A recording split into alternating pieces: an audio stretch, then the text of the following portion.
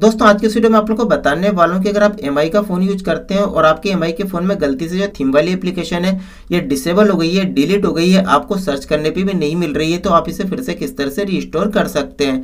क्यों? कभी क्या होता है दोस्तों कि हम प्ले स्टोर पर अगर प्ले प्रोटेक्ट में जाते हैं और यहाँ से हम हार्मफुल एप्लीकेशन को स्कैन करते हैं। जैसे कि चलिए मैं आपको बता देता हूँ, आप जाते हैं अपनी प्रोफ़ाइल पिक्चर पे, यहाँ से आप जाते हैं प्ले प्रोटेक्ट पे और यहाँ पे आने के बाद जैसे आप इसको स्कैन करते हैं तो यहाँ पर आपको बताता है कि आपके फ़ोन में कुछ हार्मफुल एप्लीकेशन फाउंड हुई है। तो उन्हें आप यहाँ से डिलीट कर दीजिए। और जैसे आप डिलीट वाले बटन पर टैप करते हैं तो आपकी थीम वाली एप्लीकेशन भी वहाँ से डिलीट हो जाती है। या इसके अलावा किसी और वजह से अगर आपकी थीम वाली एप्लीकेशन आपके एमआई के फ़ोन से अनइंस्टॉल हो गई है डिलीट हो गई है या हाइड हो गई है तो उसको आप किस तरह से वापस रिकवर कर सकते हैं इसी का प्रोसेस आज के इस वीडियो में आप लोग को बताने वाला हूँ। तो अगर आप भी जानना चाहते हैं तो आज के इस वीडियो को शुरू से लेकर आखिर तक पूरा ज़रूर देखिएगा।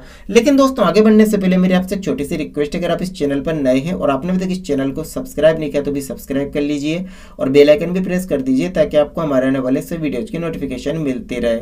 तो चलिए दोस्तों वीडियो को स्टार्ट करते हैं। तो दोस्तों, इसके लिए आपको करना क्या है कि सबसे पहले आपको अपने मोबाइल की सेटिंग को ओपन कर लेना है। अब मोबाइल की सेटिंग को ओपन करने के बाद यहाँ पर आपको काफ़ी सारे ऑप्शन देखने को मिलते हैं। तो आपको स्क्रोल डाउन करके थोड़ा सा नीचे की साइड आना है। नीचे की साइड आएँगे तो आपके एम के फ़ोन में आपको एप्स का ऑप्शन मिलेगा। आपको सिंपली एप्स में चले जाना है। अब एप्स में जाने के बाद आपको चले जाना है यहाँ पे मैनेज एप्स में।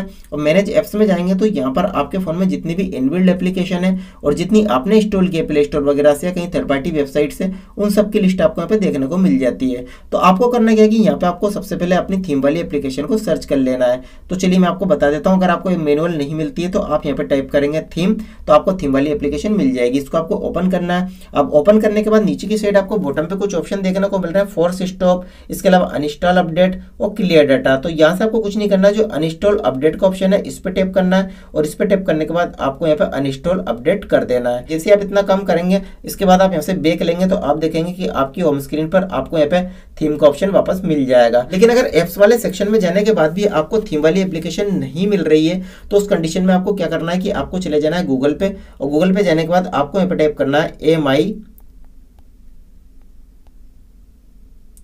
M I themes app तो चलिए मैं इसको यहाँ से सर्च कर देता हूँ। जैसे आप इसको सर्च करेंगे तो यहाँ पर आप देख सकते हैं कि पहले नंबर पर आपको ऑप्शन मिल जाता है प्ले स्टोर का। आप यहाँ से भी इसको डाउनलोड कर सकते हैं। इसके अलावा नीचे की साइड आएँगे तो यहाँ पर आप देख सकते हैं शाओमी थीम फॉर एंड्रॉइड यानी कि काफ़ी सारे रिज़ल्ट आपको मिल जाएँगे। इनमें से किसी भी वेबसाइट को ओपन करके आप इसे फिर से अपने फ़ोन में इंस्टॉल कर लीजिए और इंस्टॉल करने के बाद उसको आपको एक बार प्ले स्टोर से अपडेट कर लेना है। जिसे आप अपडेट कर लेंगे तो आपके फ़ोन में लेटेस्ट वर्जन इस एप्लीकेशन का इंस्टॉल हो जाएगा और आप इसे फिर से यूज़ कर पाएँगे, अपनी थीम वगैरह यहाँ से चेंज कर पाएँगे। तो इस तरह से दोस्तों, अगर आपके भी फ़ोन से गलती से आपकी थीम वाली एप्लीकेशन या से अनइंस्टॉल हो गई है डिलीट हो गई है हाइड हो गई है तो इस प्रोसेस को फॉलो करके आप उसे फिर से रिस्टोर कर सकते हैं।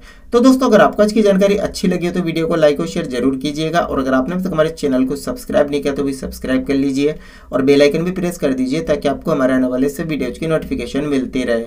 तो दोस्तों, आज के वीडियो में सिर्फ़ इतना ही, मिलते हैं नेक्स्ट वीडियो में।